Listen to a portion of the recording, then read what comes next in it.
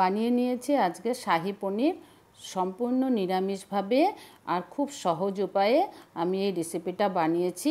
আপনারা দেখতে থাকুন, আশা করি আপনাদের ভালো লাগবে। প্রথমেই জলের মধ্যে আট দশটা কাজু ভিজিয়ে দিলাম।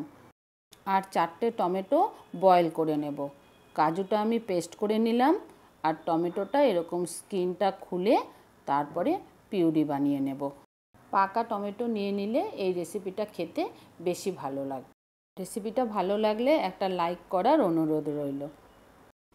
সাথে দিয়ে দিলাম দুটো কাঁচা লঙ্কা দিয়ে ভালো করে একটা স্মুথ পেস্ট বানিয়ে নেব। এখন কড়াইতে চলে এসেছি, কড়াইটা একটু গরম করে কড়াইয়ের মধ্যে কসুরি মেথি অল্প দিয়ে অল্প টেলে নিলাম এটা। এটা এখন নামিয়ে রেখে দেব। কড়াইতে এক টেবিল স্পুন বাটার আর এক টেবিল স্পুন রিফাইন্ড অয়েল দিয়ে নিলাম। আমি কোনো মেপে নেইনি আন্দাজেই নিয়েছি। এখন ফোড়ন দিয়ে দিলাম, তেজপাতা, গোটা জিরে, গরম মশলা কুটে নিয়েছিলাম আর আদা পেস্ট দিয়ে ভালো করে কয়েক সেকেন্ড ভেজে নেব, নিয়ে টমেটো পিউরিটা দিয়ে দিলাম। টমেটোতে আমি জল দিয়ে পিউরি বানাইনি, এমনি টমেটোর থেকে যে জলটা হয়েছে সেই জলটাই ওটা একটু শুকিয়ে নিতে হবে।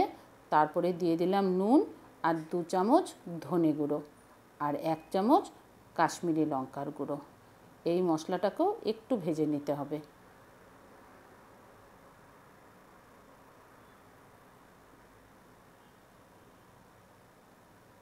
এখন দেখবেন মশলাটা ভেজে এরকম শুকিয়ে গেছে। তখন কাজু পেস্টটা দিয়ে দিলাম। কাজু পেস্টটা দেওয়ার পর গ্যাসটাকে লো করে দিতে হবে, কারণ কাজু পেস্ট, বাদামের পেস্ট কড়াইতে লেগে ধরতে পারে। তারপরে কাজুর মিক্সিটা ধুয়ে অল্প জল দিয়ে দিলাম।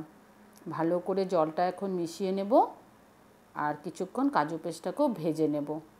যখন দেখবেন এরকম বেশ মাখা মাখা হয়ে গেছে, ওপর সাইড দিয়েও তেল ছেড়েছে, ওপর দিয়েও তেল ছেড়েছে তখন এক কাপ দুধ আর এক কাপ জল একসাথে মিশিয়ে দিয়ে দিলাম। এটা কিন্তু দুধটা, জলটা একসাথেই দিতে হবে, তাহলে টেম্পারেচারটা ব্যালেন্স হয়ে যাবে। নয়তো দুধ ফেটে যাওয়ার সম্ভাবনা থাকে। এখন লো ফ্লেমে এটাকে ফুটিয়ে নিতে হবে। সাথে দিয়ে দিলাম অল্প চিনি। যখন ফুটতে শুরু করেছে, তখন পনির দিয়ে দিলাম। আমি এখানে কাঁচা পনির ব্যবহার করেছি। আপনারা চাইলে এখানে পনিরটা অল্প ভেজে নিতেও পারেন। পনির দিয়ে ঝোলটাকে ভালো করে মিশিয়ে নিয়ে তারপরে ঢাকা দিয়ে পাঁচ মিনিট মতো রেখে দিতে হবে। পনিরের ভেতর একটু মশলাটা ঢুকবে। ঝোলটা যে আছে, এই ঝোলটা কিন্তু এক, একদম ঠিক আছে। কারণ কাজু বাটা আছে, এই ঝোলটা পরে অনেক গাঢ় হয়ে যাবে। দিয়ে দিলাম কসুরি মেথি। কসুরি মেথিটা আমি গুঁড়ো করে নিয়েছি। একদম সহজ উপায়ে শাহি পনির কিন্তু রেডি হয়ে গেল। ভালো লাগলে লাইক করে দেবেন কমেন্ট করবেন।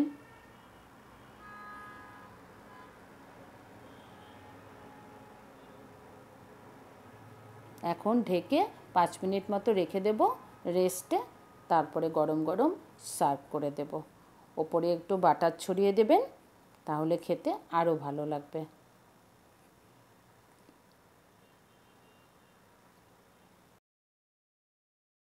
Thank you.